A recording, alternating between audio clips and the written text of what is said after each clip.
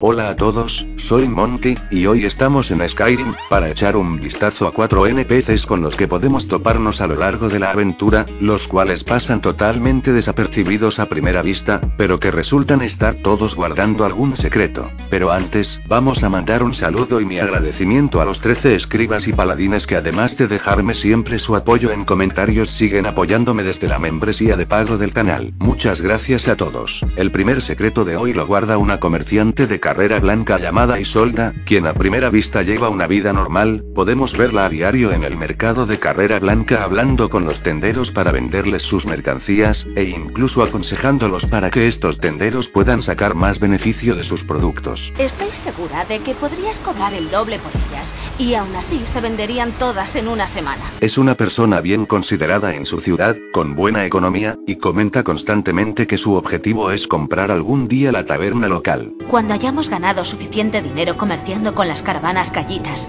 pienso comprarle la yegua banderada a Julia. Curiosamente, también es la única ciudadana de carrera blanca que no tiene prejuicios e incluso hace tratos con los comerciantes cajitas, ya que a estos no se les permite entrar a comerciar a las ciudades por temas de discriminación racial. Pues bien, si por alguna razón decidimos ir a un lugar llamado Campamento del Árbol Somnoliento, donde viven dos gigantes que custodian este árbol tan llamativo, y nos dirigimos a la cueva que hay en el campamento, además de encontrarnos con un gigante en un espacio cerrado, encontraremos también el cadáver de un orco, del cual podemos agarrar una nota, en la que descubriremos que fue enviado allí por orden de Isolda, ya que al parecer se puede extraer la savia del árbol para hacer escuma, de manera que resulta que la aparentemente inocente Isolda, está involucrada en una trama de tráfico de drogas, ya que ella es quien maneja el escuma en la ciudad, dando sentido a el por qué Isolda tiene tan buena relación con los cajitas, ya que estos cajitas serían quienes comprarían el escuma a Isolda de forma ilegal, ya que así ella podría conseguir ganar más dinero para cumplir su sueño, comprar la taberna de carrera blanca. Una vez descubierto esto, podemos hablar con Isolda, quien ahora nos ofrecerá venderle la savia que recolectemos a ella a 150 monedas por botella. Ah, estupendo. ¿Cuánta tienes? Muy bien. Tráeme toda la savia de árbol somnoliento que encuentres. Continuamos con el siguiente secreto, el de Anís, la vieja ermitaña de Cauce Boscoso. Esta señora, vive cerca de Cauce Boscoso, en una pequeña cabaña en la que pasa el día cuidando de su cultivo y de la casa en general. Si hablamos con ella, no dirá nada interesante, se limitará a alegrarse de tener una visita, o a comentar cosas relacionadas con lo sola que está o lo complicado que es hacerse cargo de todo por su cuenta. Es duro tener que hacer lo posible para ir tirando, pero me las arreglo.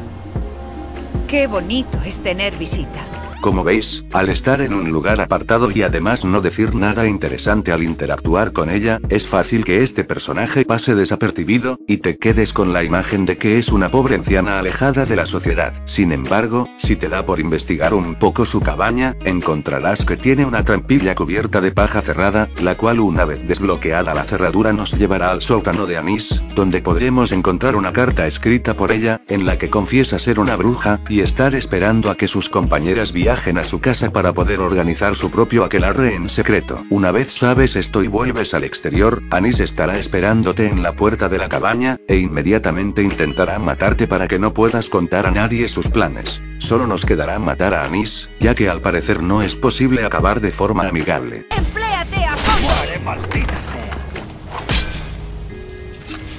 Seguimos con el secreto que comparten tanto Joan Manet, un viejo mago, como Sisel, una niña maltratada. Estos dos personajes se encuentran en paraje de Rorik, donde Joan trabaja como mercader, viviendo junto a Rorik, el dueño del lugar. Es un viejo muy amable, pero además de contarte la historia de Rorik, no tiene mayor interés. Mientras que la joven Sisel, se dedica a pasar el día o bien en su casa con su padre y su hermana mayor, o bien en casa de Joan, con quien tiene una muy buena relación. Lo curioso viene cuando hablamos con Sisel, ya que ésta hace comentarios quejándose constantemente sobre las palizas que le propinan su padre y su hermana. La mayor parte de los días lo único que puedo hacer es mantenerme alejada de mi hermana y mi padre. Los dos me dan unas palizas. Pero también hace mención a que Yuan está enseñándola a usar la magia, así que algún día se hará fuerte y dejará de pasar miedo.